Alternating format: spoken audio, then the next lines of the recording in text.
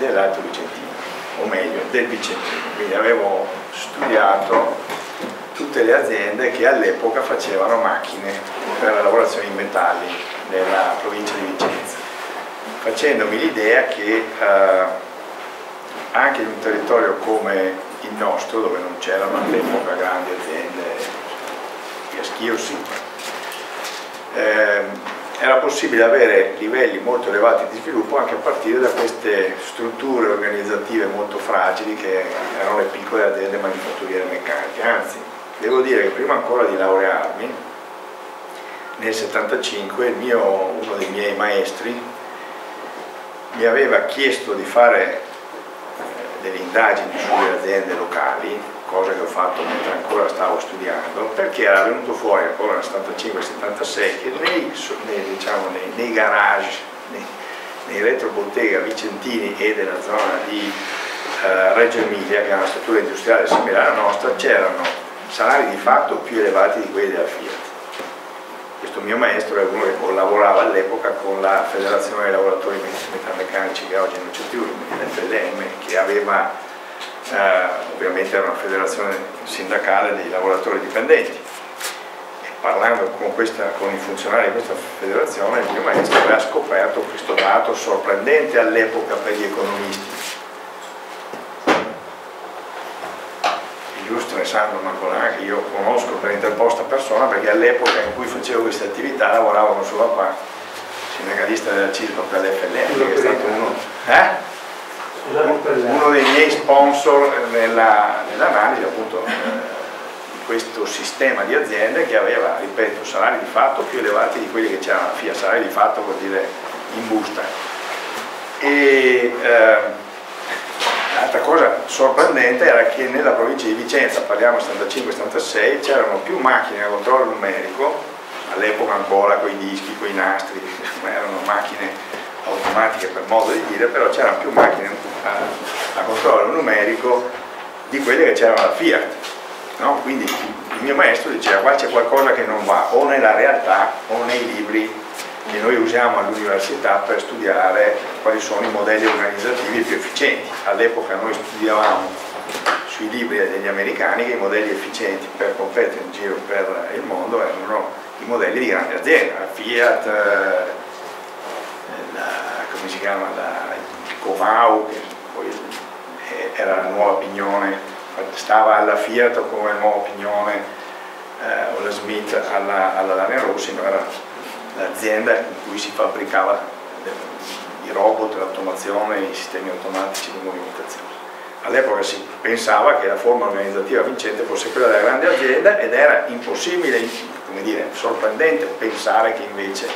in un territorio come questo, fuori dalle reti, eh, soprattutto nel triangolo Marano, Tiene, Schio, no? ci fosse questa concentrazione di aziende così produttive che potevano consentirsi salari molto alti, fuori dalle eh, linee di traffico principali, dai, dalle grandi infrastrutture, con un'organizzazione appunto assolutamente instabile quindi, eh, e non paragonabile a quella che noi studiavamo all'epoca sui libri e eh, con il tempo poi ci siamo resi conto che ehm, il sistema organizzativo del nord-est, di questi territori, non solo nella meccanica ma in molti altri settori, il sistema organizzativo, la società che metteva dire, insieme queste capacità produttive e questi capitali era, dire, dal punto di vista dell'efficienza paragonabile a quella della grande azienda, forse migliore da, punto, da molti altri punti di vista. Possiamo, ne discutiamo oggi pomeriggio ovviamente perché siamo ancora qui dopo molti anni, però ecco, diciamo che io eh, appena uscito dall'università eh, già eh, mi, per gli studi che avevo fatto mi sono trovato indirizzato a, ad andare controcorrente, quindi a non ragionare eh, di come si poteva trasformare questo territorio in un eh, territorio analogo a quello che c'è a Torino, quindi territorio popolato di grandi organizzazioni, ma vedere eh, in che modo questo territorio attraverso la sua modalità organizzativa specifica poteva come dire, competere. E, e voi potete immaginare eh, ho cominciato a fare questo lavoro proprio nel momento in cui stava esplodendo questo modello organizzativo che oggi chiamiamo il modello dei distretti produttivi, dei distretti industriali. E quindi ho passato gran parte della mia uh, attività a uh, prima studiare, poi uh, diciamo, interagire, progettare lo sviluppo di questi sistemi. E, poi mi è capitato di lavorare in diversi paesi del mondo e di vedere come questo modello organizzativo non fosse specifico nostro, ma fosse un modello organizzativo abbastanza diffuso, tanto che uno dei distretti industriali più eh, interessanti, più studiati, che ha avuto l'evoluzione più grande è, come voi sapete, nella Silicon Valley, no? tra eh, San José, perché le fabbriche che fanno prodotti elettronici, computer, chip o oggi le apps, le applicazioni che fanno circolare le informazioni sono tutte collocate a sud di San Francisco in un'area appunto la Silicon Valley che ha come capitale San José eh, come, come, come, riferimento dove ci sono le università di Stanford, Palo Alto, Berkeley e dall'altra parte della baia, insomma diciamo che sono. Quindi come dire, eh, nel tempo ho avuto modo, di, girando il mondo, ho più di 3 milioni di chilometri sulle spalle, come molti nostri imprenditori, dovuto girare per il mondo per capire come è fatto e ehm, mi sono reso conto che eh, il modello di sviluppo che caratterizza il nostro territorio non è poi così arretrato, non è poi così male, ovviamente deve essere aggiustato, sistemato nel tempo, adesso io sono stato testimone della grande esplosione della manifattura, oggi stiamo entrando in una fase molto diversa in cui probabilmente le attività produttive dovranno cambiare ancora ma ecco, eh, quello che posso mettervi a disposizione con la mia presentazione, mettervi a disposizione è il risultato di questa esperienza ormai 40 anni, 35, di eh, attività di economista sul campo, di economista che si guadagna il pane tutti i giorni eh, vendendo servizi, interagendo con i sistemi produttivi che conosciamo, poi nel tempo sono diventato anche professore ad Hannover, nel senso che sono invitato, stato invitato a tenere dei corsi a, a, in diverse università, in Padova, Udine, Venezia, adesso collaboro con l'Università di Venezia per cercare di eh, riportare anche all'interno del sistema universitario eh, le riflessioni e le scoperte fatte sul campo, per cominciare a modificare anche i testi, gli strumenti di lavoro degli studenti, indicando loro che la strada della grande impresa che ancora oggi va per la maggiore, viene ancora diciamo, il, il mainstream, il settore principale degli studi che si fanno in economia, però è come dire, un modello che può avere anche eh, delle alternative, no? che non sono necessariamente o più avanti o più indietro, sono alternative, modi diversi di lavorare. L'ultima cosa io mi sono, um, ho avuto modo di, di, vedere come funziona il sistema giapponese da vicino molti anni fa, quando, era, quando stava crescendo molto rapidamente, un sistema molto simile al nostro, ho avuto modo di vedere come funziona il sistema degli Stati Uniti, anche quando non si sviluppa come un sistema di grandi imprese. E, eh, mi sono fatto l'idea che eh, non esiste un'unica forma di organizzazione industriale efficiente, un'unica forma di capitalismo, un'unica forma di organizzazione dello Stato, la migliore qualsiasi. Ci sono varietà di capitalismi, poi vi farò capire perché, perché li scrivo in questo modo, varietà di capitalismi, modi diversi di organizzare le stesse cose che vanno bene in contesti diversi, ognuno ha il mix suo. Quindi, come dire, a un certo punto mi sono anche trovato in difficoltà con la mia scienza, tra virgolette, che è nata proprio, l'economia è questo, no? è nata con l'idea di trovare eh, attraverso osservazione matematica, naturalistica del sistema economico, di trovare l'ottimo, il, il, modo migliore in assoluto no? di combinare le cose e per strada mi sono trovato che anche lì eh, come dire, la strumentazione degli economisti classici, degli economisti, eh, dei macroeconomisti, insomma, no? eh, non, mi, non mi serviva molto per fare il mio lavoro a ridosso delle imprese, dei comuni che voi qui rappresentate, degli enti locali, per stabilire qual è la strada di sviluppo. Eh, la scienza economica postula l'idea che ci sia una, una, one best way, come si dice, un'unica strada e che tutti quanti prima o dopo arriviamo su quella strada lì, che è l'ottimo in assoluto della combinazione delle risorse umane, in realtà ho scoperto che l'ottimo non esiste, che ci sono 100.000 varianti diverse, combinazioni diverse e questo come dire mi ha costretto ancora una volta a rompermi il muso con la mia scienza eh, che non serve. Quindi come dire eh, mi, mi, so, mi, sono, mi, ritrovo costantemente ad arrampicarmi sul ghiaione no, eh, franante per trovare degli ancoraggi al mio ragionamento che non siano troppo aleatori, troppo confinati nel racconto di storie, di episodi che poi non aiutano le persone a trovare dei riferimenti, dei metodi da seguire, eccetera. Però questa è anche una considerazione conclusiva. Se non capite niente di economia, se non vedete una strada dritta davanti, se non riuscite attraverso le letture che fate di notte a trovare la one best way per produrre lo sviluppo nel vostro territorio, state tranquilli che siete nella norma. Cioè non avete perso niente, non c'è da qualche parte qualche economista diverso da me che potete chiamare e che risolve in maniera matematica i vostri problemi. Qui aveva ragione il povero Marx a dire che la storia si fa, cioè, si può studiare, si può leggere, si possono trovare dei riferimenti, poi di volta in volta le storie, i modelli scientifici che vengono prodotti, le storie che abbiamo in testa vanno, vanno come dire, recitate di nuovo e interpretate dalle persone che in quel momento si trovano a ad assumere eh, determinati compiti, determinati obiettivi come quello dell'agente di sviluppo locale. E, e, nel momento in cui tu cerchi di reinterpretare la storia di qualcun altro, quella degli americani, quella dei giapponesi, o di reinterpretare oggi la storia degli italiani degli anni Ottanta, quelli dei distretti, come dire, duri e puri e forti, e comunque ti ritrovi, a, che è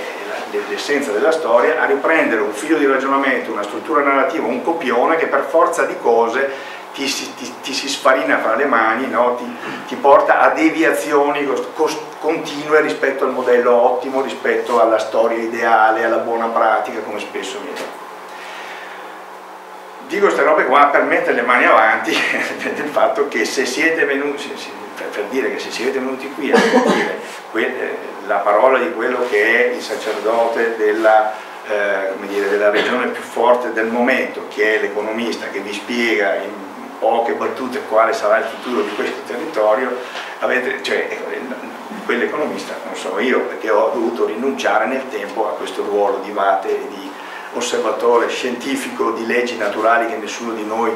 eh, se non gli studiosi, riesce a controllare. State tranquilli. Nel frattempo, ecco, io volevo anche con questa presentazione un po' fantasiosa eh, eh, dirvi che sono qui disponibili anche nelle prime due ore, più che a fare una, una lezione o uh, a illustrarvi la, la, mia teoria, la mia idea dell'Alto Vicentino, a,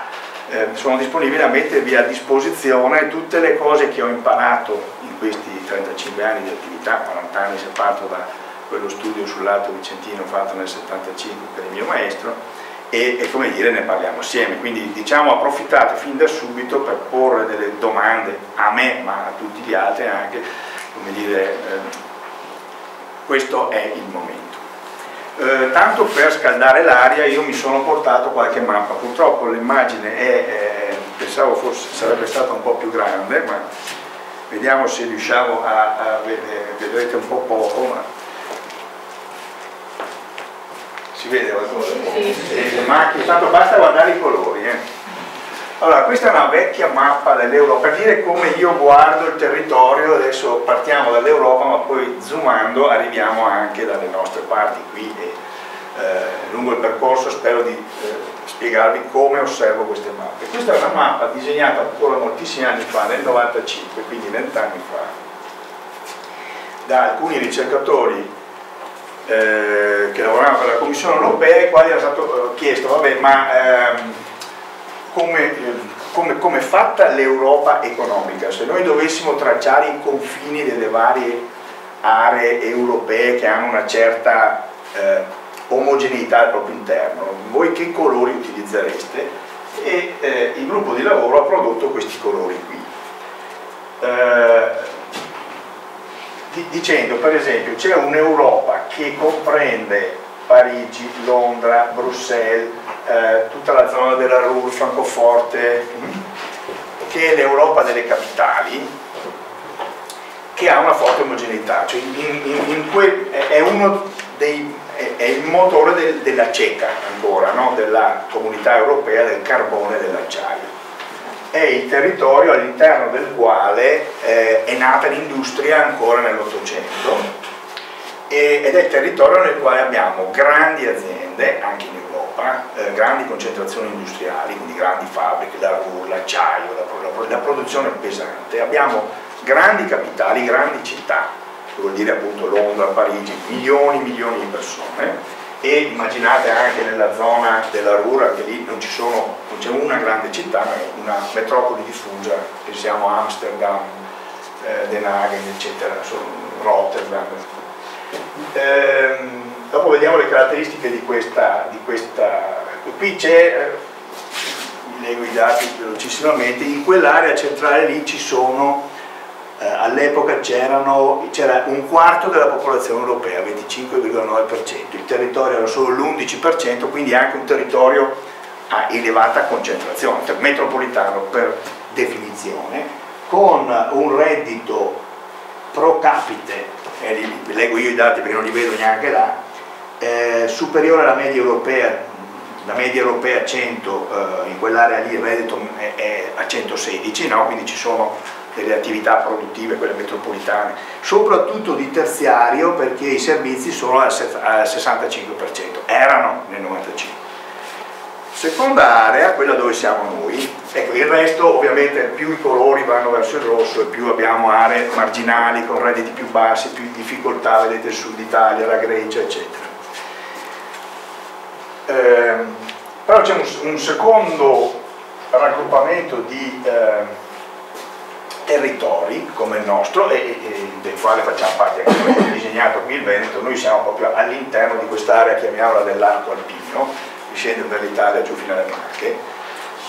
che eh, all'epoca, vi dico i dati, è un territorio che questo, 12% del totale dell'Europa, quello delle capitali era l'11, questo è il 12, quindi più o meno una parte piccola, anche qui, qui invece... Eh, 15% della popolazione, quindi una densità molto più bassa. Eh, attenzione, reddito eh, per abitante 122 rispetto alla media europea di 100, più elevato ancora, quindi nella, nella zona, eh, nella zona dove siamo noi, questa in marroncino, no, livelli di reddito pro capite più elevati ancora di quelli che ci sono nell'Europa delle capitali, a Londra, a Parigi. Parliamo del 95. Eh, densità più bassa, non ci sono grandi città, perché Monaco, eh, ehm, come si chiama? La capitale Baden-Württemberg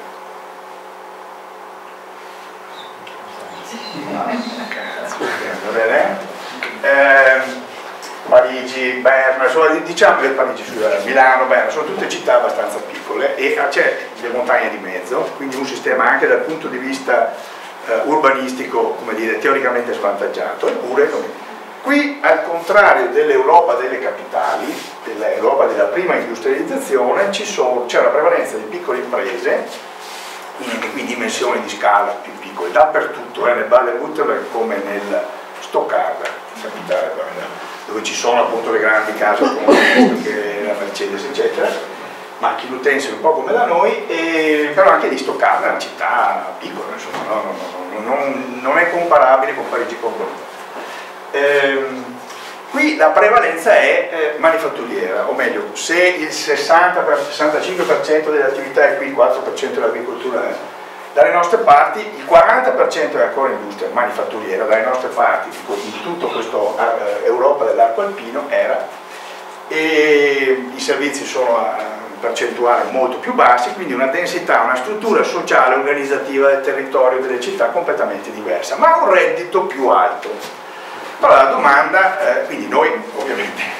siamo i fortunati che vivono assieme a questi altri x milioni di persone della, eh, del continente europeo in una condizione eh, particolarmente favorevole. Attenzione, nel 95 poi le cose cambiano. Ragione del perché. Allora lì lo stesso gruppo che ha, ha lavorato a costruire questa mappa si è domandato ma perché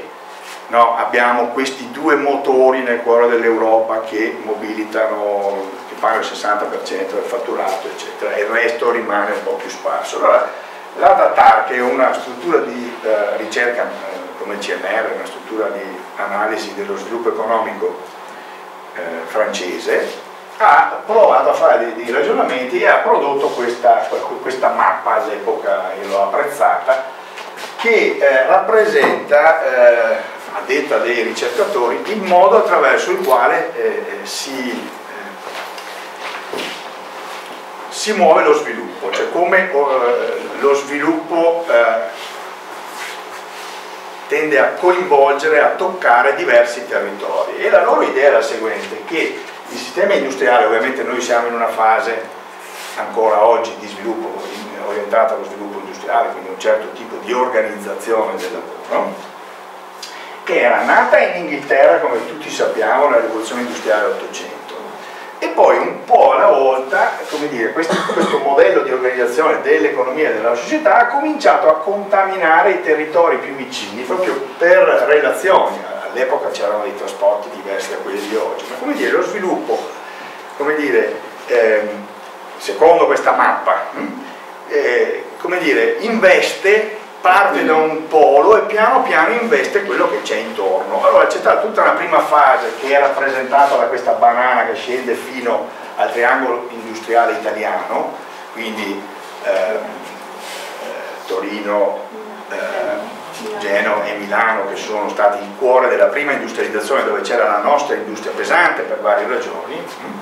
Questa banana insomma, dà l'idea che si, si sia formata nel tempo partendo dall'Inghilterra, contaminando la Ruhr, e come dire, ehm, convincendo ehm, per contatto diretto territori diversi a entrare dentro un certo tipo di organizzazione, eh, organi ehm, prendendo i capitali che servivano per fare le grandi fabbriche, eccetera. A un certo punto, come dire, questo primo innesto di sviluppo eh, come dire, si è fermato, ha cessato la sua funzione, anche perché ormai acciaio cominciato altri a farlo, sono comparsi gli Stati Uniti eh, come concorrenti eccetera, diciamo che avevamo meno bisogno di eh, elementi di base, è partito come dire un secondo, dopo nel secondo dopoguerra, una seconda fase invece nella quale eh, è partita l'industria leggera, quindi l'industria che poi ha fatto forte il Made in Italy, quindi i prodotti eh, per il consumo di massa, l'abbigliamento, i prodotti di arredamento, fare le case, eccetera, è cambiato il modo di vivere, eccetera. Quindi dopo una prima fase in cui lo sviluppo è stato guidato da capitali pubblici prevalentemente, in Italia di sicuro, no? e qualche volta capitali privati per fare la grande industria della volta, Dopo quel momento lì, nella seconda eh, parte del, del, secolo scorso, è partita invece, come dire, eh, sempre per contaminazione, un'ondata di sviluppo che ha, eh, che, che, che ha, coinvolto piccole città, piccole, piccole società locali, piccoli produttori capaci di investire invece che milioni di euro centinaia di migliaia di euro e anche meno. E piano piano si è aperta una finestra nella quale si sono inseriti non solo i territori italiani del, della cosiddetta terza Italia, quindi no, per tutta una fase i veneti andavano a lavorare a Torino e a, e a, Milano, eccetera. Ma a un certo punto questa cosa si è fermata, nel secondo dopoguerra, primi anni 70, abbiamo cominciato a lavorare qua, a investire qua e abbiamo imparato a fare industria per soddisfare eh, la nuova finestra di eh, consumi di bisogni che si è aperta in Europa e nel mondo e siamo diventati quello che siamo diventati. E un po' alla volta diciamo, abbiamo cominciato a contaminare i territori circostanti, vedete queste frecce, quindi come dire abbiamo per contaminazione, cominciato a, a, coinvolgere nel nostro modello di sviluppo altri territori, noi verso est, adesso ormai sono passati molti anni, ma alla fine degli anni 90 è cominciato tutto il flusso delle delocalizzazioni verso la Romania prima per il settore calzaturiero, poi tutte le attività che sono andate in Slovenia, in, eh, in altre parti verso est, ma la stessa cosa è capitata per esempio in Catalogna, al sud della Francia, verso eh, Valencia, eccetera. Allora, come dire, questa prima immagine ci dà l'idea che noi come territorio, ecco questa è un'immagine ingrandita sempre dell'epoca del 95, come territorio siamo eh, eh, diciamo, alla conclusione di un processo di sviluppo per contaminazione come quello che vi ho eh, indicato fino a poco fa, adesso ci chiediamo cosa succederà dopo, no? cioè, qual è la prossima onda e come si sta formando e di che, che forma avrà, se eh, continuerà questo processo di contaminazione come abbiamo visto in passato oppure se ci saranno nuove modalità per organizzare eh, le nostre attività quotidiane però diciamo eh, nel 95 voi vedete eh, questa immagine, che cosa diceva questa immagine? Diceva che il nostro territorio, che è il Veneto, questo qui, era eh, parte del motore emergente eh, dell'economia europea, eh, pur avendo piccole città, piccole imprese e tutto quello che ce n'è dietro, però eh, dire, il nostro territorio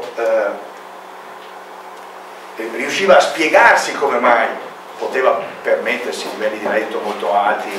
crescita dell'occupazione in una società tutto sommato abbastanza solidale, perché si dice appunto che faceva parte di questo eh, territorio emergente contaminato dalla prima onda di industrializzazione e, e capace poi di interagire con altri territori e che eh, un territorio che si colloca al centro di una rete di relazioni particolarmente eh, favorevoli con il cuore dell'Europa, non solo con il centro delle capitali che ha cominciato a comprare i nostri prodotti, ma anche con i, con i centri di fornitura che stavano emergendo nei paesi a, a, costo del lavoro un po' più basso. Cosa sono quelle immagini, quelle, quei flussi eh, in rosso? Sono, come dire, eh, i flussi di traffico. Sono flussi in rosso che mettono assieme il traffico delle merci e anche il traffico delle persone che viaggiano non solo per, per lavoro ma anche per turismo. Allora, cioè uno guarda queste, questi flussi dice, beh, questa è Verona, e diciamo, Verona sono fortunatissime perché sono al punto di incrocio di due eh, eh, fiumi di traffico tra i più poderosi che ci sono in Europa. Mettendo insieme questa rete di flussi mi pare che si arrivava al 25-30% del totale dei flussi di traffico commerciale e turistico d'Europa. Quindi dice qua, acqua che passa, pesci da pescare, quanti ne, abbiamo, quanti ne vogliamo. Se voi date un'occhiata, vedete questo rivoletto qui verso Trieste, all'epoca che cos'era? Tanto per dire le, le mappe cosa ci racconta. Questa è una, una fotografia scattata nel 95, prima che esplodesse il sistema di relazione anche solo con la Romania. Con la Romania noi commerciavamo nel 95 per i prodotti in pelle, Verona commerciava, che ne so, per eh, 10 miliardi. Nel 2000 era 10 volte tanto, 100 miliardi. E voi sapete oggi, uno dei, cioè si sono forse asciugati un po' questi rivoli eh, e si è ingrossato in maniera straordinaria invece il rivolo dei flussi di traffico di relazioni verso est. Cioè, oggi se c'è un'autostrada intasata è quella che va da Padova a Vicenza verso Trieste. A Trento già si corre, io ho lavorato 5 anni a Trento, non ho mai fatto code sulla, sulla, sulla A22 più volte abbiamo detto sono preoccupato di chi pagherà poi la, la, nuova, la, la Valdastico 9 quando l'apriremo perché bisogna fare i conti sul fatto che eh, tra l'altro noi siamo molto lenti nel approvare progetti di eh, infrastruttura no? perché arriviamo sempre 50 anni dopo quando il mondo deve cambiare e quindi come dire andiamo a fare gli investimenti al posto sbagliato e magari gli investimenti sbagliati però ecco, questo è per dare eh, delle prime immagini eh, no, ecco, eh, che ci portano a dire questa era la situazione nel 95, ma due anni, eh, vent'anni dopo, dove siamo? No? Cioè, eh, se io penso a quello che immaginavo nel 95, io continuavo a immaginare una, una, crescita di questi flussi, soprattutto verso nord, il fatto che noi veneti avremmo lavorato sempre più, più, più con la Germania, sempre più con la Francia, sempre più... L'est era una cosa ancora lontana, cioè non, non, mi immaginavo che saremmo cresciuti in quelle direzioni. Proiettavamo verso il futuro un, un ricordo, un'immagine no, del passato, non parliamo dei modelli degli economisti, dei modelli statistici che vengono sempre proiettati al futuro eh, attraverso le serie storiche, come se le, le, serie, le serie, storiche, basta fare una rete di correlazione o di regressione, ti dicono esattamente dove sarai nel, nel mondo futuro. Le serie storiche dell'epoca ci dicevano appunto che il problema era fare avanzati, parliamo del 95. Anni dopo sappiamo che non è andata così, tanto per tornare al discorso dei modelli. Eh, avevo qualcosa da dire ma mi verrà in mente. Arriviamo a, a noi, questa è la mappa, una ulteriore mappa del Veneto, sempre prodotta all'epoca, che rappresenta la nostra regione. Allora, all'epoca io ero tra i pochi che diceva, ma guardando questa mappa qua, facevo anche dei confronti, adesso purtroppo non ce l'ho, eh, guardando la mappa del Veneto e confrontandola con quella di Los Angeles, no? all'epoca io dicevo, bah, è la stessa roba, no? nel senso che eh, anche a Los Angeles, Los Angeles è, una, è una, una grande metropoli dove non c'è la metropolitana, dove la gente si sposta in automobile attraverso le autostrade, come facciamo noi per andare da Padova a Vicenza, a Montebelluna, eccetera. È un territorio di 100 km per 100 km più o meno come il Veneto ed è un territorio caratterizzato come area metropolitana da quartieri importanti come quelli che sono proiettati su questa mappa che adesso vi riassumo che cosa sono, cioè che cosa possono essere quelle macchie sulla mappa del Veneto allineate prevalentemente lungo l'asta della pedemontana sono le zone industriali, anzi sono i, i distretti di cui parlavo prima, i distretti. No? Eh, così come a Los Angeles nella parte nord c'è eh, Hollywood, c'è il quartiere, non c'è solo eh, Beverly Hills Boulevard, no? dove ci sono le case dei, eh, degli artisti, ma eh, ci sono tutti gli studios, c'è un, un, un, distretto industriale del cinema diffuso in cima alle colline, perché se voi andate a Hollywood eh, come dire, andate negli studi in cui si registrano le puntate televisive, nella, nella sede del sindacato degli attori, vai a trovare il regista che sta scrivendo la sceneggiatura di un pezzo, li trovi esattamente come accade da noi, come andare all'Asolo, uno che abita a Amazon, che altro in cima all'Asolo e come dire, eh, lavorano a, a, quella che è l'industria del cinema, sì, poi ci sono anche gli Universal Studios, ci sono le, eh, i, i, teatri di posa, di registrazione come Cinecittà, però il resto del sistema è distribuito, adesso che poi non c'è più bisogno di grandi eh, laboratori di posa, ancora di più un territorio simile al nostro. Invece di avere Hollywood, noi cosa abbiamo dalle parti di Belluno? All'epoca c'era tutto il distretto dell'occhialeria, che poi è diventato una fabbrica sola quando Luxottica ha deciso di fare l'investimento strategico della sua vita di comprare i negozi e a quel punto condizionando il resto del sistema. Ma prima che nel, nel 95 partisse Luxottica a fare questo tipo di scelta, c'era appunto un grande distretto bellunese, soprattutto nel Cadore, arrampicati su per le varie Cadore, c'erano centinaia di, di, di, aziendine che facevano chi la montatura, chi le vitine, tutte quelle cose quindi come dire una grande fabbrica all'epoca di 200-300 eh, reparti con 10-12 eh, mila persone che ci lavoravano scendendo giù verso Treviso qua ce ne sono solo alcune delle immagini dopo arrivo anche all'Alto Vicentino no? c'era eh, tutto il distretto eh, del mobile cosiddetta sinistra Piave, a Scavalco, tra l'altro qui ce n'è un pezzo che va verso Pordenone, avete sentito che Pordenone vuole a questo punto che sono saltate le province, parte del Veneto perché si trova più ragionare con Treviso sul, sul mobile che non con Udine. Qui c'è tutta, tutta l'area della produzione immobili eh, di Treviso, c'è questa macchia qui e anche lì sono, c'erano 200-300 stabilimenti, un po' come a, Maniago sì, per le sedie, con 10-12 mila persone, quindi una fabbrica da 12 mila persone sparsa nel territorio ma con una capacità produttiva pari al 20% della produzione italiana di mobili Questo Montebelluna, capitale mondiale all'epoca dello scarpone sportivo, delle, delle calzature sportive, no? Il grande laboratorio dentro il quale non potevano mancare i grandi operatori internazionali. Io ho fatto uno studio e scritto un articolo sulla storia di Montebelluna proprio in quel periodo lì per il comune, per il museo dello scarpone eccetera e all'epoca ovviamente c'erano tutti i grandi operatori internazionali, erano presenti lì, Lange, eh, Salomon, eh, Spalding, eh, tutti quelli lì che sappiamo, ok? Eh, anche lì, lì c'erano 600-700 aziende, poi vi racconto casomai come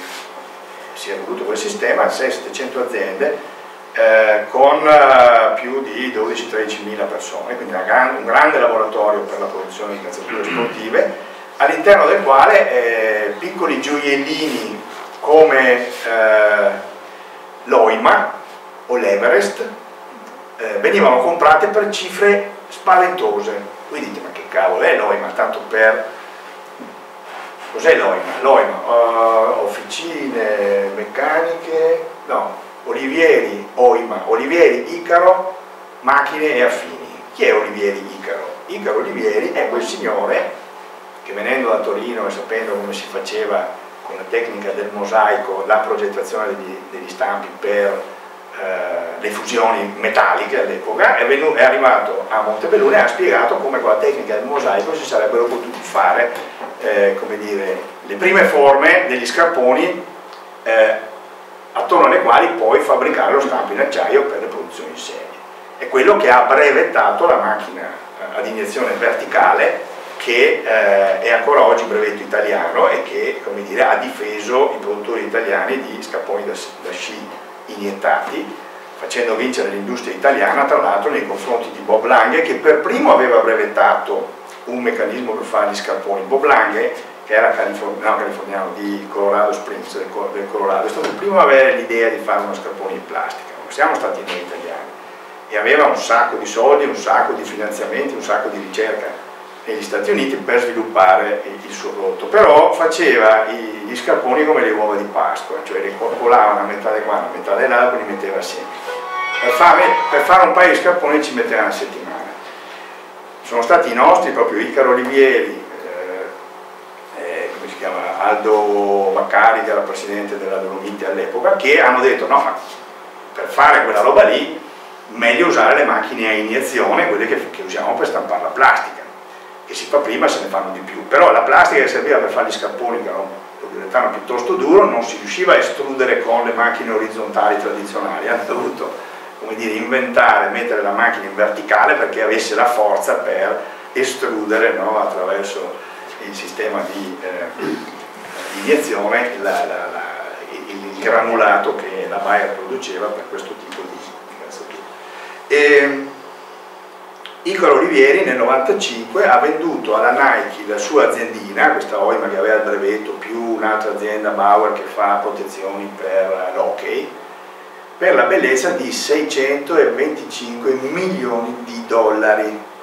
Cioè, mi, ricordo ancora perché il giorno dopo che ha venduto l'azienda, a parte che camminava a 20 cm, no, 20 cm un metro sopra l'asfalto, perché dopo si è trasferito a Monaco e credo che sia ancora là che spende gli ultimi, gli ultimi milioni 625 milioni di euro per un'azienda da 100 dipendenti, pagata cash dalla Nike, perché? Perché appunto dentro uno di, dei, è come comprare l'Intel, no? l'azienda che fa i chip all'interno del distretto produttivo dei computer della Silicon Valley. Se tu hai in mano l'Intel, hai in mano il sistema. No? E quindi quel quel reparto lì, quel reparto di progettazione, quella piccola aziendina che dal punto di vista dei libri di economia vale niente, però dentro un sistema produttivo che ha una sua omogeneità vale un sacco di soldi. Ho fatto una digressione, ma per dire che insomma guardando sta mappa metti Montebelluna, qui c'è l'area di Bassano, mobile, ceramica, all'epoca ancora qualcosina si faceva molto poco, a Vicenza eh, c'è eh, la gioielleria ovviamente, nel nostro territorio c'è tutta la meccanica, che è produzione di macchine, macchine utensili, macchine per la lavorazione eh, del legno, macchine alimentari. Alimentari, macchine per la lavorazione del marmo, eccetera, tanto che poi eh, il, il, il, territorio dell'Alto Vicentino al suo interno c'ha dei mini distrettini, cioè dire che, la, che, Marano è la capitale del pane, è la capitale della farina, siete qua di Marano.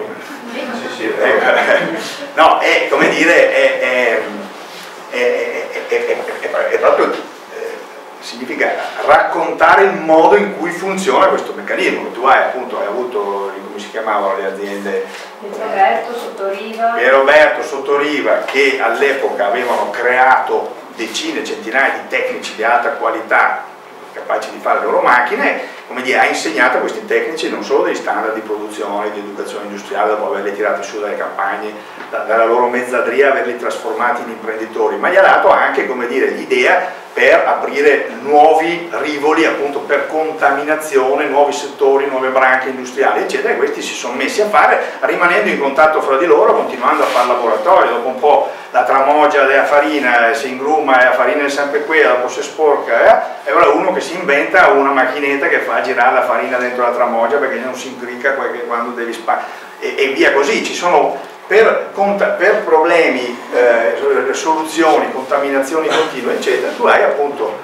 eh, puoi immaginare come funziona lo sviluppo, lo puoi anche raccontare.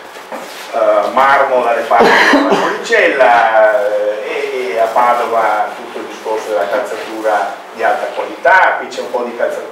Arzignano, io adesso sto lavorando, sono presidente della filiera del consorzio che rappresenta la filiera dei produttori conciari, compresi quelli che fanno macchine, prodotti chimici, i depuratori, eccetera. No? Oh, questa è, come voi ben sapete, quella, quella striscia, sono riuscito anche a non questa strisciolina nera qui è la capitale mondiale, una delle capitali mondiali della pelle, come sapete, 400.000 tonnellate di pelli da... Eh, 400.000, insomma una cifra spaventosa di, di, di, pelli lavorate ogni anno. Eh, con eh, una capacità produttiva di circa 12-13 mila persone nei vari livelli. Ecco, la cosa importante è che queste persone, come nell'esempio che facevo prima per la meccanica dell'Alto Vicentino, come dire, lavorano nell'industria della pelle, in reparti diversi del ciclo produttivo di lavorazione della pelle. Solo che questi reparti non sono tutti collocati all'interno di, di, un unico grande stabilimento con un unico consiglio di amministrazione, ma sono distribuiti nel territorio, nelle case degli stessi lavoratori, nelle piccole aziende degli stessi lavoratori che fanno le varie fasi e che sono proprietari e investono sui macchinari e sui, eh, eh su, sulle tecnologie di cui hanno bisogno per fare il lavoro insieme con gli altri. No? Cioè, quello, quando io uh, faccio vedere questa mappa, o facevo fatto vedere questa mappa ai miei interlocutori della Silicon Valley, dico, ah, è, è, è, è, come qua, cioè come da voi, anche noi abbiamo delle grandi fabbriche, delle grandi organizzazioni efficienti, che sono fatte di 10-15 mila persone, abbiamo una fabbrica per fare scarponi fa o diversi tipi di uh, calzature, una fabbrica per fare mobili, una fabbrica, hanno tutte quella dimensione lì, sono tutte da 15-20 mila persone concentrate in un territorio. Sai qual è la differenza? Che non sono tutti quanti sotto lo stesso capannone, che non sono tutti quanti a libro paga di uno, che non vengono finanziati soltanto da una banca o soltanto da un eh, sistema, ma è, è, come dire, si dividono le responsabilità di investimento, le scelte tecnologiche, le scelte organizzative, baruffa dalla mattina alla sera ma alla fine come dire, la... sono sistemi fortemente partecipati, fortemente partecipativi che poi alla fine riescono anche a distribuire gli utili in ragione degli investimenti fatti con delle ovviamente differenze che danno origine a scazzottature quotidiane perché il mercato non è un ottimo regolatore ma vuol dire non è che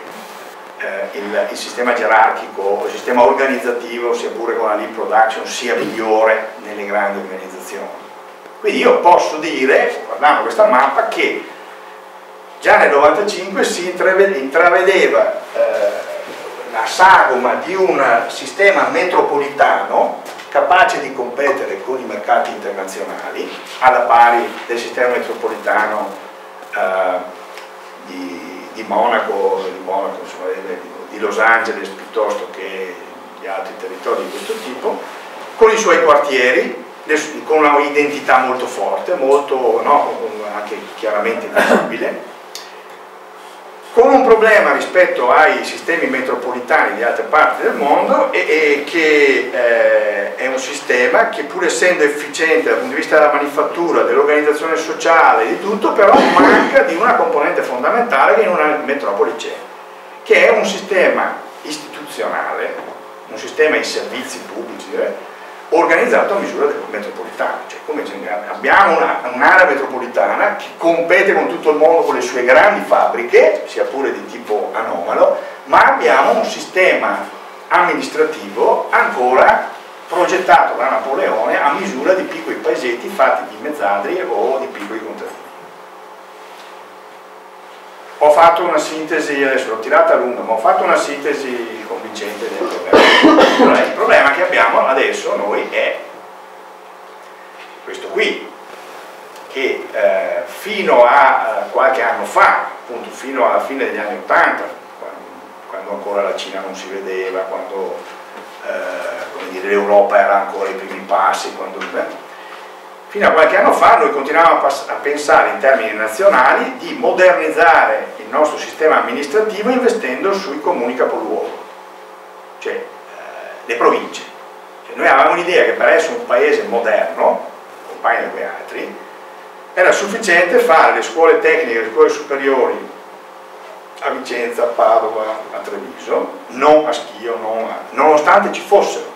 L'idea era, bisognava, la prima riforma importante del nostro paese che, va, che, andava in questa direzione a metà degli anni Ottanta, la riforma della scuola superiore che appunto ha, è quella che ha chiuso i laboratori, che ha cambiato radicalmente il nostro modo di pensare al sistema formativo, ha concentrato eh, nei capoluoghi una serie di investimenti, ha ehm, come dire, eh,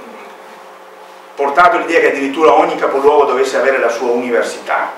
no? Vicenza che litigando con Padova, con Verona tentato di mettere in piedi la sua università, che eh, basta, ci dovesse essere un centro intermodale, quindi una, un autoparco, insomma, un, un interporto in, un po' in tutti i capoluoghi e che questo, quell'autostrada e l'alta velocità ha fatto tutto, ha modernizzato il paese. Allora se noi pensiamo a questo modo di lavorare, vediamo che gli investimenti si concentrano in questa area centrale della metropoli veneta, magari producono dei risultati interessanti, come sta succedendo a Vicenza, adesso lì c'è una serie di investimenti sui servizi che non sono male, però come dire, è come eh, dire che a Los Angeles tu concentri gli investimenti, la pianificazione dello sviluppo soltanto nell'asta che va da downtown, dal centro della città, Santa Monica sulla costa, non, non passandoti neanche per la testa di fare qualcosa nel distretto del cinema a nord piuttosto che quello della, dei teatri e della musica jazz al sud. Noi abbiamo fatto così, però, cioè, siamo concentrati, siamo pure che litighiamo no? Sulla, per fare il Vivro, cioè Vicenza, ma nel senso Vicenza città, con Verona città, con eh, Rovigo, contro Padova città, eh, Treviso città e Venezia contro il resto del mondo. Dico bene? Allora, voglio dire, non è un modo di pianificare un'area metropolitana che deve competere e che ha diciamo, i suoi quartieri più importanti fuori da quell'asse lì. Tu non puoi costringere no, i cittadini di Schio, i cittadini dell'Alta Padovana a fare costantemente riferimento a eh, risorse dei capoluoghi, dei capoluoghi, quando la loro identità, il loro modo di essere, di lavorare, come dire, no, e, o rendere la vita di quelli che sono a... Ehm, ad Arzignano impossibile se volessero raggiungere Montebelluna, perché oggi è impossibile raggiungere Montebelluna, per ragionare di come fare la pelle sostenibile con l'ACU o con gli altri colleghi che vogliono fare qualcosa di interessante nel settore delle calzature da trekking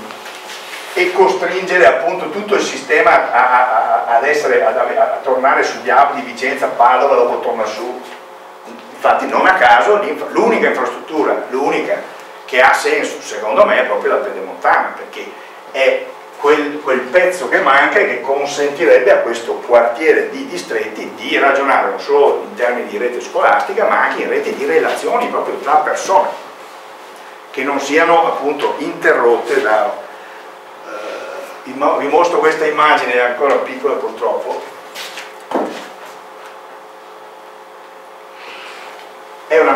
questo è molto più recente del Veneto, che dà l'idea di quali sono le maggiori concentrazioni di popolazione, rosso e giallo sono le macchie più importanti, e eh, quali sono eh, gli spostamenti sistematici eh, nei collegamenti giornalieri, quindi eh, diciamo i, i pendolarismi. Allora, ovviamente vedete che Verona sta un po' per conto suo, teniamola da una parte per il momento, poi voi avete una fortissima densità e intensità di relazioni tra Padova, Venezia e Treviso, questo è il downtown no? nel mio linguaggio dell'area metropolitana del Veneto, dove si concentrano gli aeroporti, gli uffici, le università, no? e c'è una maggiore intensità proprio di relazioni quotidiane. Poi c'è Vicenza ovviamente che è un nodo importante, fortemente concentrato con una serie di relazioni in internet e poi avete di nuovo, ecco qua, questo è il territorio che ci interessa, no? abbiamo Arzignano, Valdagno, Schio, Tiene, Bassano, Castelfranco Veneto, Montebelluna, tutto questo quartiere, ripeto, che è come dire, il cuore manifatturiero dell'area metropolitana, che invece come dire, è come se non esistesse dal punto di vista, cioè, che ha scarse relazioni, c'è la concentrazione di attività produttive di residenti, ma appunto per l'assenza di un piano di interazione, cioè, come dire, è un quartiere nel quale le relazioni sono ridotte al minimo. E pensare che appunto, ripeto, faccio solo l'esempio dei produttori di pelle della Valle, de, della Valle, del Chiampo, che avrebbero molto da dirsi con quelli di Montebelluna e che per anni non si sono potuti parlare proprio perché andare a Montebelluna al Chiampo vuol dire è peggio che andare a Roma. No? Cioè, pensare che un sistema di relazioni di questo tipo fra industrie sia, dire, non sia stato pensato, cioè, come dire, è uno dei grandi ritardi no? che, eh, che forse oggi la pedemontana riuscirà a ridurre il mio amico Gigi Schiavo mi diceva, siccome io devo andare a Bari spesso, cosa che dovrò fare anch'io fra un paio di lunedì, l'aeroporto migliore per i voli è quello di, di Treviso. Pensa sei che fosse che la benedetta fede montana, no? vado in 20 minuti, in mezz'ora, adesso mi tocca fare 160 km con tutto quello che ne consegue dal punto di vista dell'inquinamento, dei costi eccetera. No? Allora, io ho fatto una corsa molto veloce per arrivare al punto che è questo. Eh, come facciamo a immaginarci il futuro? Io ho raccontato la storia del passato, gli economisti sono bravissimi a raccontare la storia del passato con dovizie particolari, poi gli fate la domanda, benissimo, ehm, eh, Monsignore, siamo tutti Monsignori, adesso che lei ha ricostruito così bene le vicende del passato e ci ha spiegato con tutte le statistiche cosa è successo fino a ieri, perché è, mi sa dire che cosa succederà domani? E l'economista risponde, no, io non lo so. E allora uno ciampa e dice, ma scusa, ma la tua scienza del picchio, cosa serve scusa, a raccontarmi quello che è già successo? Se non mi serve a immaginare il futuro, a capire cosa devo fare domani, come mi devo muovere, cosa serve? Io credo che nel fatto che per tanti anni noi non abbiamo riconosciuto il nostro territorio come un territorio metropolitano c'entra molto il fatto che la maggior parte degli economisti, la maggior parte degli insegnanti delle università e dei nostri dirigenti politici quella mappa lì che mi ho in testa dal 95 non la vedevano, io ce l'ho lì e l'ho fatta vedere tante volte, ma non la vedevano, era fuori dal loro schema, dal loro schema. Allora, eh, domanda di nuovo, ma come facciamo a immaginarci il futuro e a mettere in campo le infrastrutture e i servizi che sono necessari per fare in modo che il futuro, diciamo, eh, moderno che tutti noi vogliamo per, per i nostri figli, eccetera, si realizzi? Allora, non bisogna ascoltare gli economisti,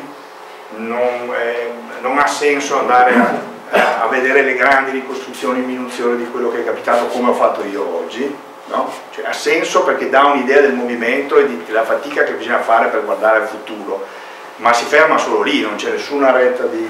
eh, nessuna regressione, no? retta di correlazione che possiamo tirare per dire dove andremo a cadere fra qualche anno. Cosa, cosa dobbiamo fare? Allora, dobbiamo liberarci dalle storie che ci raccontiamo. No? Per esempio una delle storie che più ci ha eh, corrotto nelle nostre decisioni, radicatissima a tutti i livelli, non solo dentro le facoltà di economia ma anche dentro le amministrazioni pubbliche, a livello nazionale, locale, è l'idea che l'Italia stia inseguendo paesi più avanzati no? e che quindi, come dire, dobbiamo copiare dagli altri, facendo anche noi qui quello che hanno fatto gli altri. No? Questa è, per esempio, una delle prime... Allora, ho scritto mi sono permesso di scrivere un articolo sul giornale Vicenza che ogni tanto ospita i miei, ogni tanto, non so se avete capito, i miei pensieri. Eh, eh, ho detto, ah, eh, Metropoli, cos'è il titolo? Me l'ha messo anche giusto, Metrop eh, Metropoli Pedemontana, Pedemontana Metropoli. Ma perché finalmente adesso che cascano le province, adesso che ci rendiamo conto che non c'è più una lira, che tutti i soldi che abbiamo messo nelle infrastrutture di modernizzazione come dire, sono evaporati, ci hanno lasciato solo debiti e nessuna risorsa utile.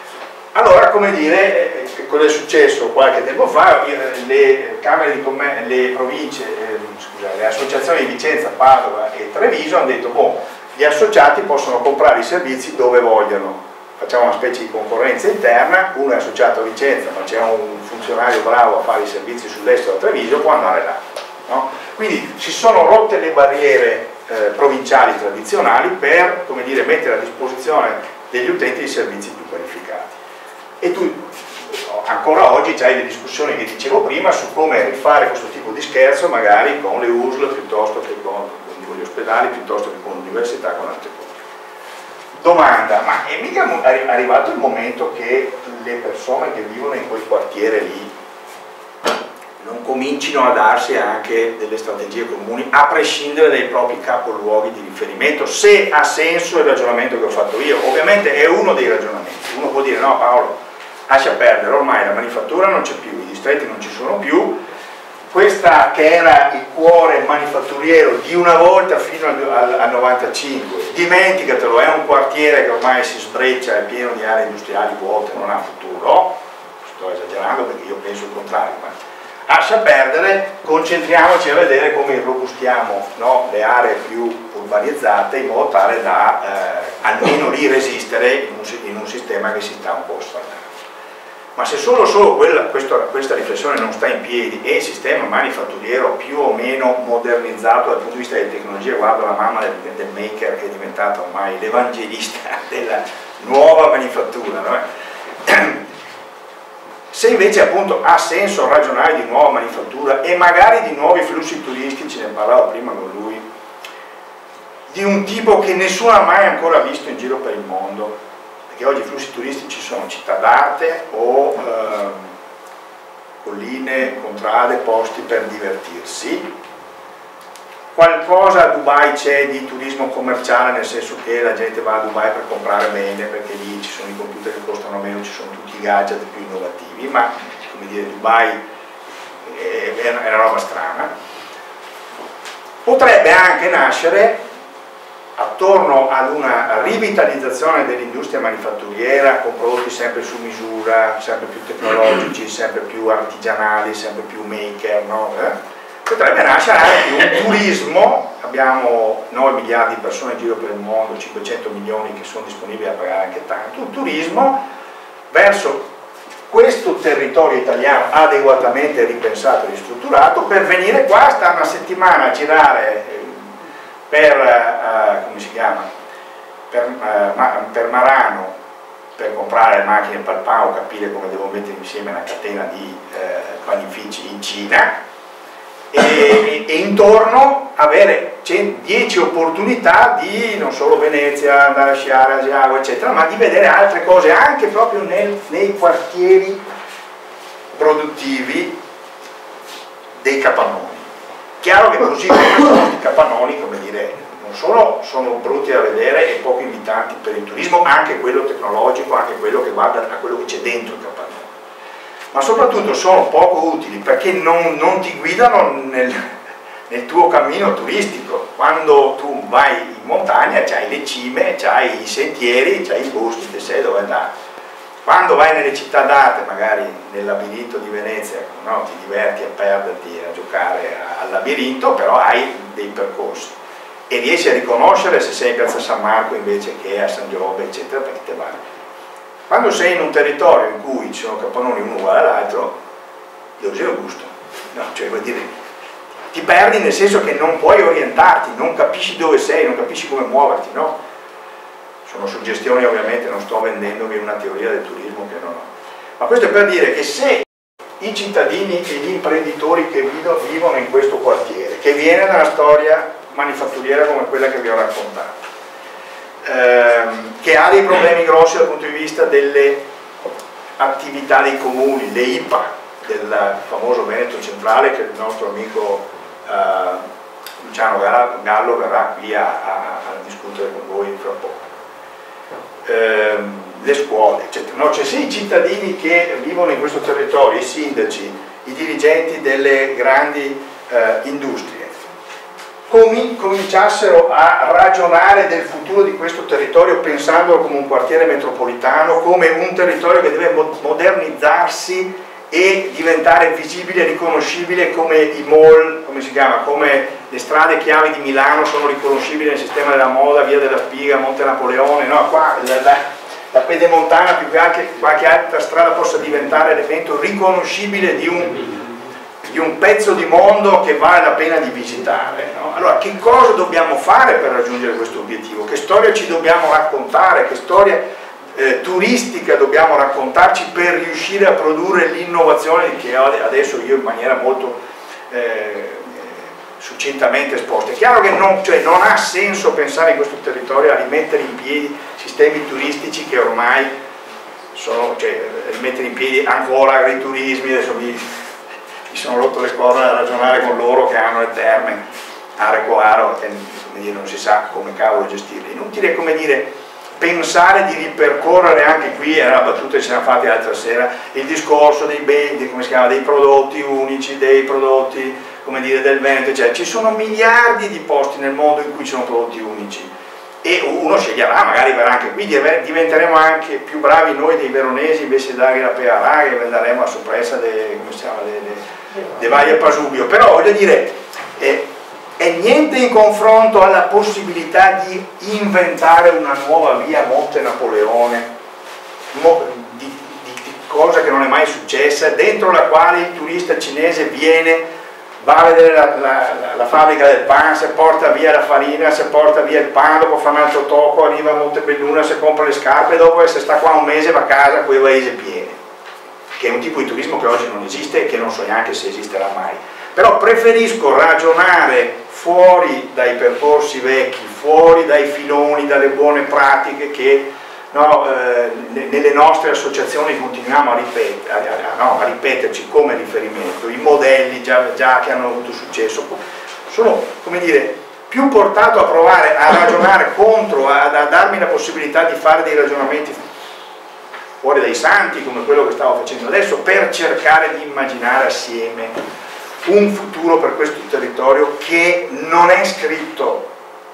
in qualche modello matematico, non è scritto nelle leggi naturali che gli aruspici dell'economia possono individuare perché li studiano, non è scritto nella, eh,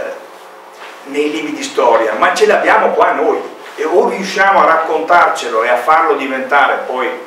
realtà oppure semplicemente non esiste e non esisterà mai. Allora come si fa a incamminarci a fare un lavoro collettivo per cui ci incamminiamo insieme a raccontarci una storia credibile che dopo fra un po' molliamo per una più ancora e comunque diciamo mantenere il passo, muoverci senza rimanere intrappolati prima ancora che nelle burocrazie, nel patto di stabilità e tutte quelle robe lì, proprio nelle storie che ci raccontiamo sul modo in cui fare sviluppo, su cui impostare l'azione dei nostri comuni, eccetera. Questo è il problema principale attorno al quale, per le cose che vi ho raccontato all'inizio di questa lunga concione, queste sono le domande principali che io mi sto domandando oggi. Dopo che ho buttato via i miei libri di economia che mi dicevano trova il punto di incontro fra la domanda e l'offerta e te che trovare quello che succederà domani, e non è vero, dopo aver buttato via i manuali di organizzazione che mi dicevano che bisogna organizzare tutte grandi aziende perché ora siete che il massimo di efficienza e li ho buttati via perché questa cosa non si è verificata né in Italia né negli Stati Uniti in Italia noi abbiamo investito metà del debito pubblico sull'oliveti ed era una grande azienda, è anche ben gestita, è stata la prima a fare un sistema operativo dei computer. Cosa è rimasto lì? Dopo niente, neanche perché le stesse persone che ci lavoravano sono andate nella Silicon Valley, non sono più qua, Fagini e cose. Cosa è rimasto della, per fare un esempio un paio a questo, cosa è rimasto dell'IBM? Quando è partita la Silicon Valley, dei ragazzetti lì, come si chiama, Steve Jobs e Bill Gates e quel bravo cioè, i libri, i manuali di economia dicevano che non era possibile che questi facessero la fortuna che hanno fatto. Eh, Zuckerberg, con, che era scritto, nei libri di economia si diceva che avrebbero vinto i modelli organizzativi di qui là, con la cravatta, con le scarpe grosse, capi della IBM. IBM era un mostro, la più grande fabbrica del mondo, che è sparita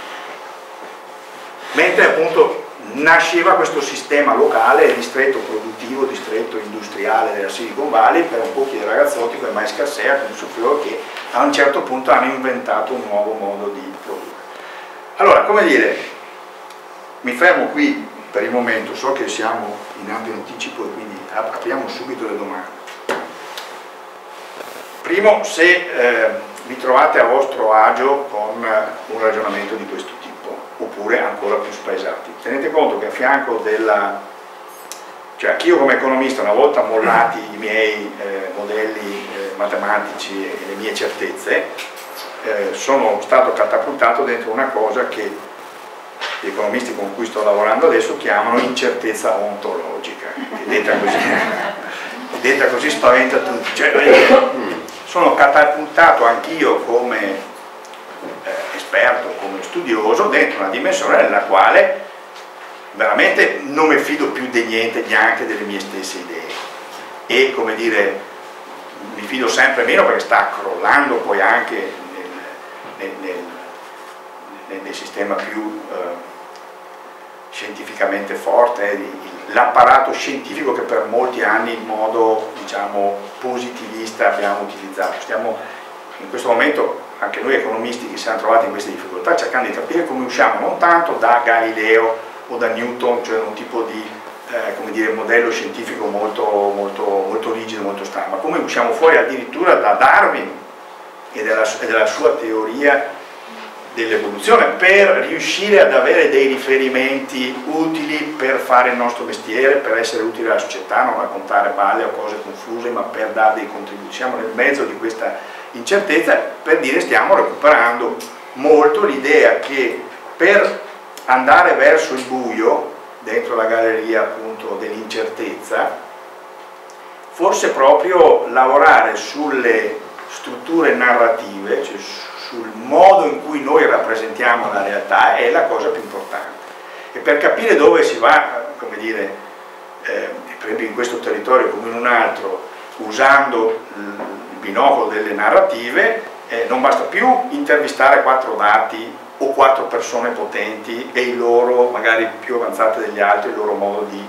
pensare, ma bisogna raccogliere il modo di pensare le strutture narrative anche della signora Maria, delle, cioè, a, a, ad Arzignano il gruppo dei più potenti imprenditori del territorio che sono 4-5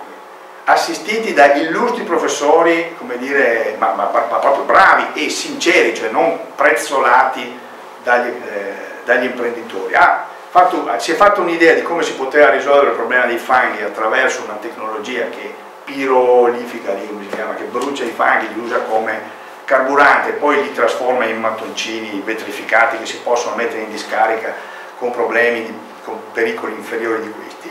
Beh, quelli lì non sono riusciti a fare un passo avanti in dieci anni perché la signora Maria non riusciva a capire cos'è quella roba lì. E di fatti, come dire, nonostante qualche esperto dicesse no, ma la soluzione per i problemi della conceria dei fanghi c'è ed è quello lì, nonostante ci fossero alcuni che tirando le, le, le aste no, dei, dei, conti e eh, della logica eh, chimico-fisica dicevano il punto di, di, di caduta è quello lì, come dire, il sistema nel suo complesso, quella strada lì suggerita dai visionari o dagli esperti, non l'ha seguita. Quindi non c'è stato cambiamento e ancora oggi il problema dei fanghi è il problema principale irrisolto in quell'industria. E non si risolverà fino a che non si riuscirà a fare un lavoro collettivo di eh, interpretazione di quel problema in maniera tale che anche la signora Maria che poi vota il sindaco capisca da che parte andare, si senta rassicurata, non intimorita, vada avanti ovviamente in maniera sperimentale senza fare baracconi di colpo come qualche volta si fa, sbagliati dal primo all'ultimo mattone, però se non si risolve questo problema di capire quali sono le eh, storie guida, come queste vengono digerite a livello collettivo, in che modo i comuni, la politica e gli altri colletti bianchi che svolgono questa funzione di gestire, no? di tradurre le strutture narrative poi in procedure, delibere, eh, come si chiama, regolamenti, eccetera. No? Tutta questa macchina qua, come dire, bisogna vedere come riesce a funzionare per fare in modo che questa nostra collettività cominci a muoversi, a sintonizzarsi sul canale provvisoriamente, chiamiamolo metropolitano, di un, un gioco sociale più evoluto di quello che abbiamo fatto finora proprio nell'area dell'assunzione delle decisioni, della regolazione del sistema eh, delle imprese, del sistema sociale che, che, che, che matura all'interno delle province e dei comuni. Io volevo introdurre il ragionamento su, dove andiamo a sbattere, riprendendo proprio i, gli appunti che, che, che, mi ero fatto per una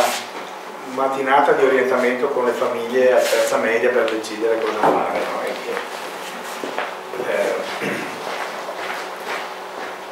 no non, è, non, è, questa,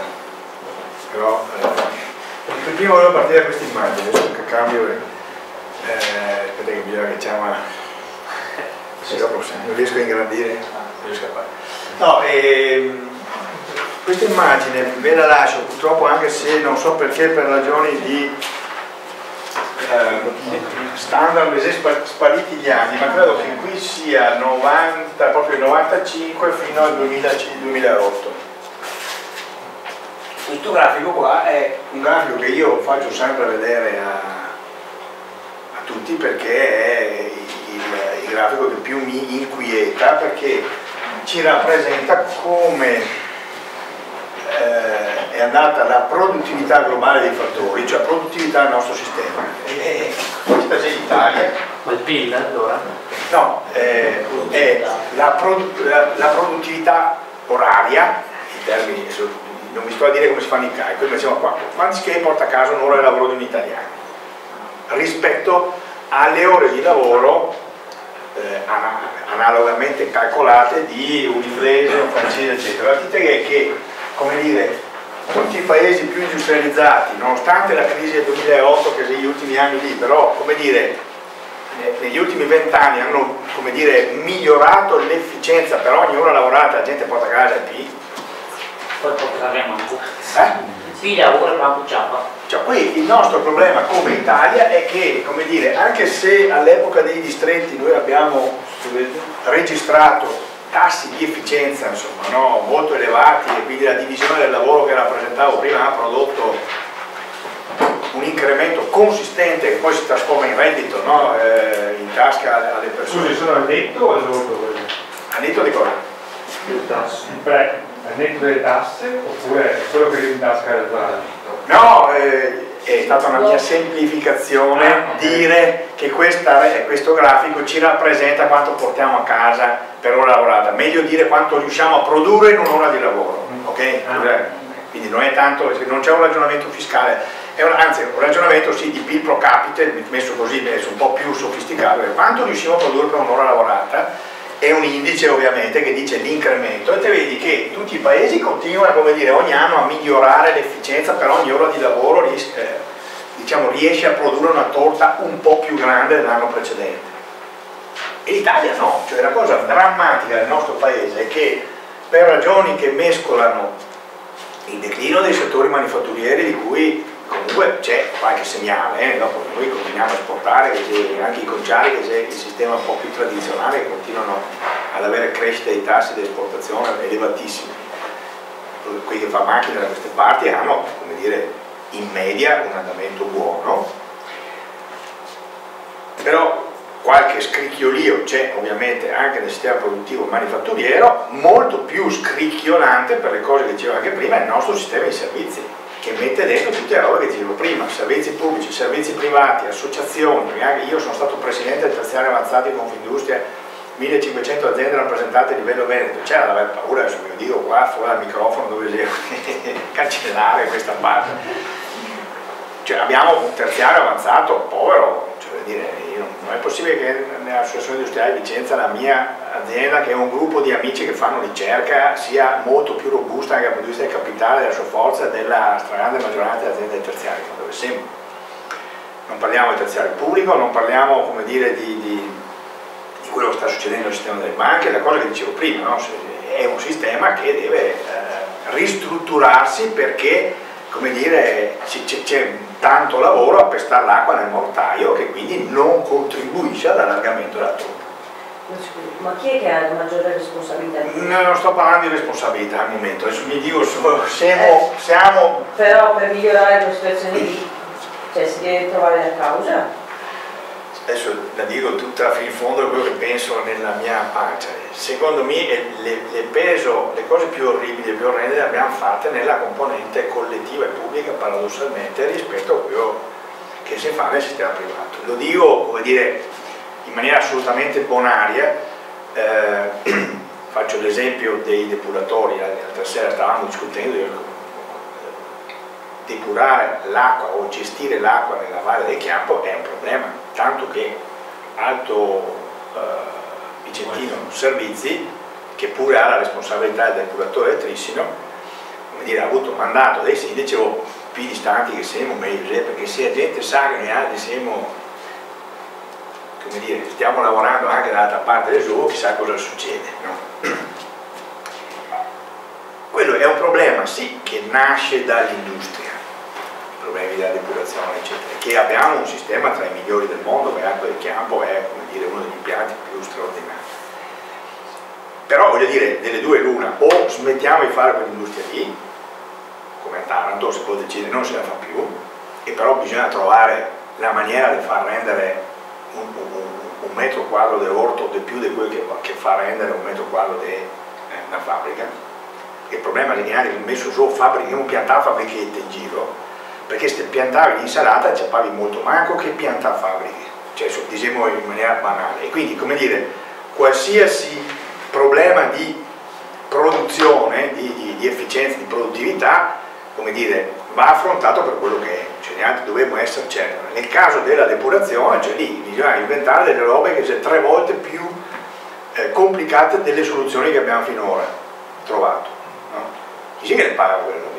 Allora se tu, come dire, fa, fai il conto che a pagare gli investimenti che servono a progettare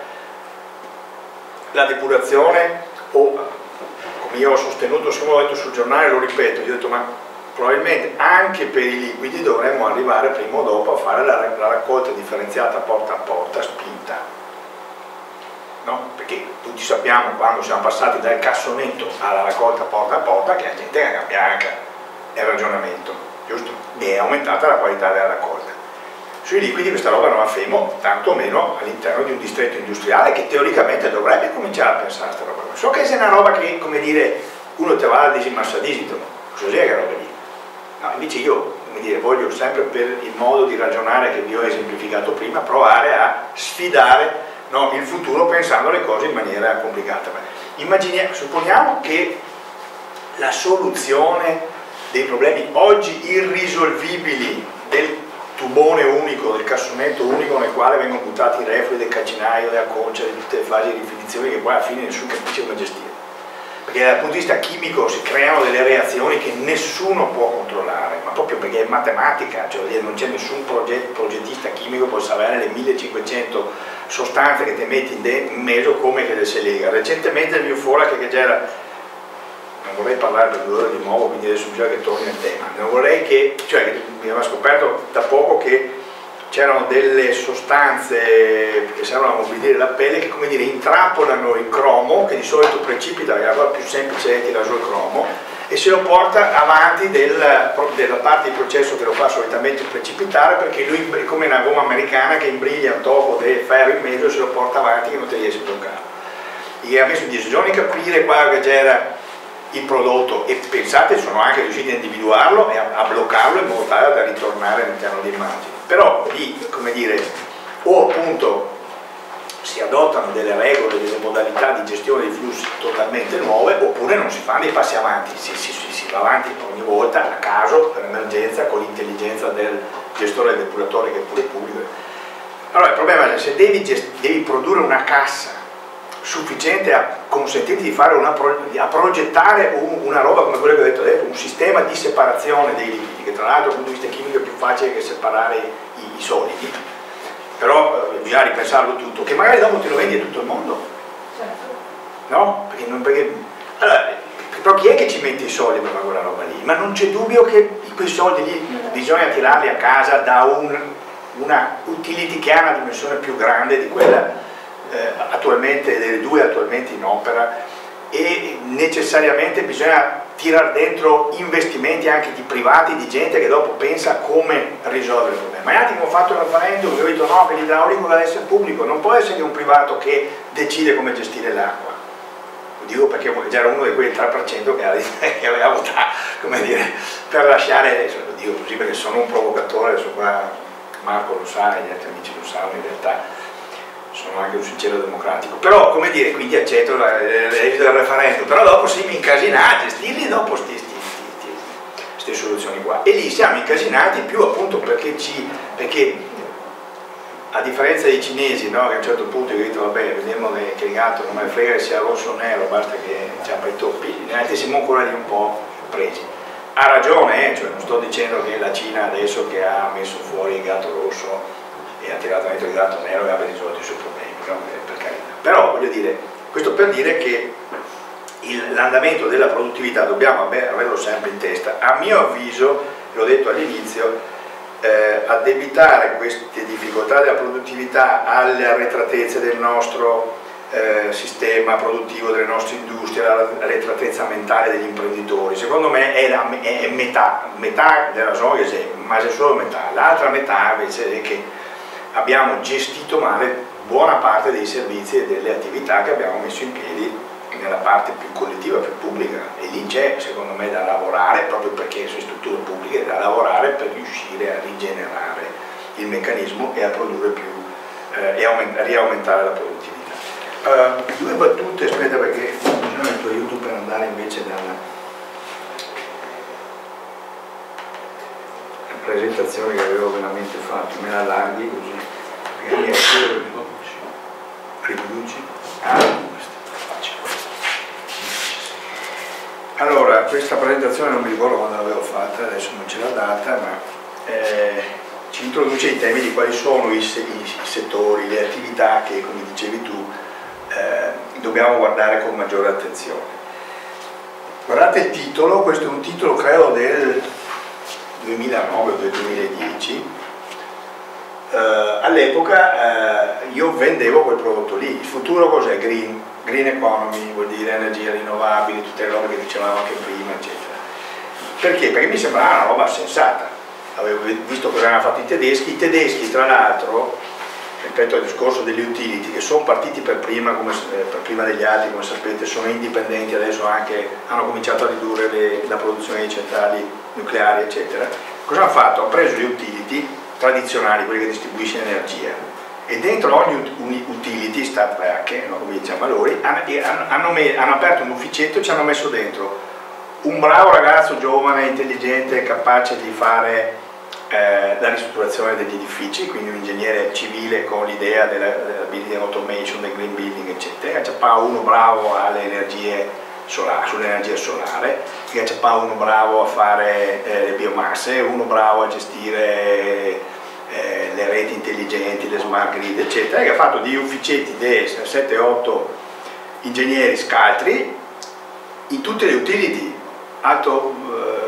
Vicentino Servizi, eh, AIM, eccetera, queste robe noese. E ha aperto bottega e ha detto, boh, adesso ti mettiti lì, ti paghiamo e ti studi come cavolo si risolve i problemi dell'efficienza energetica, come si sfrutta le biomasse, come si superano le contraddizioni eh, energetiche come quelle, io cito sempre il comune di schio, per cui te fai un ottimo impianto per la termovalorizzazione del rifiuto secco, dopo ti fai un'ottima politica per la raccolta differenziata e alla fine te, te trovi che i tocchi non va PCM. No, allora, vuoi qualcuno che come dire, tenga sotto controllo in maniera sistematica tutte queste faccende in maniera tale da aiutare la struttura eh, pubblica no, di, di, distribuzione dell'energia a cambiare, eccetera.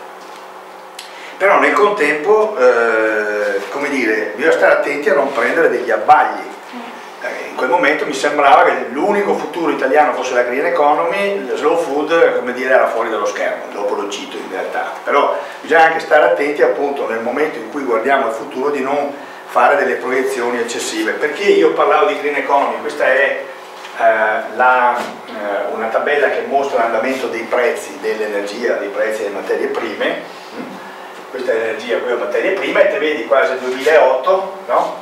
Eh, è evidente da questa immagine l'idea che abbiamo grippato il motore dell'economia eh, tradizionale, dissipativa, che non presta attenzione ai problemi energetici nel 2008, ti vedi proprio che questi dati sul mondo, ti vedi che i prezzi arriva al picco.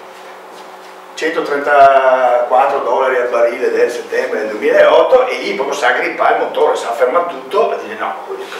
non è possibile che i prezzi delle materie prime e dell'energia che sono generati da una domanda superiore all'offerta continuino a, crescere in questa maniera, no? eh, è insostenibile, c'è cioè, anche una parte dell'economia che funziona come raccontano gli economisti, eh, al punto come dire eh, si, è, si, è, bloccato tutto, poi c'è il discorso anche finanziario dei, eh, si dei dei derivati che ha bloccato tutto, però è evidente come dire che eh, subito dopo la crisi del 2009 si riprende come prima e si arriva a grippare da nuovo fra qualche anno, cioè è evidente che nell'epoca immediatamente successiva alla crisi del 2000, alla grande crisi, l'idea di, di, di, pensare a, a, ai business futuri come business diversi da quelli tradizionali, che non significa non far più magliette, non far più meccanica, non far più la manifattura, ma ripensare a tutte queste attività, come dire, in maniera sostenibile, cioè a ripensare al modo in cui fai le magliette, al modo in cui fai i mobili, eccetera, eh, eh, e qui c'è grande innovazione da fare in maniera da, da rimanere compatibili con il, il, le risorse disponibili e da non innescare meccanismi sui prezzi eh, o, o, o o sul, sul, giro finanziario come quello che abbiamo visto nel 2008 che a un certo punto dire, paralizza eh, l'attività. Quindi come dire, considerazioni che facevo, eh, motore dello sviluppo tradizionale dissipativo trainato dalla spesa pubblica irresponsabile nel nostro paese è grippato, non possiamo più fare debiti, più o meno in quegli anni lì ci si è resi conto, è arrivato Monti,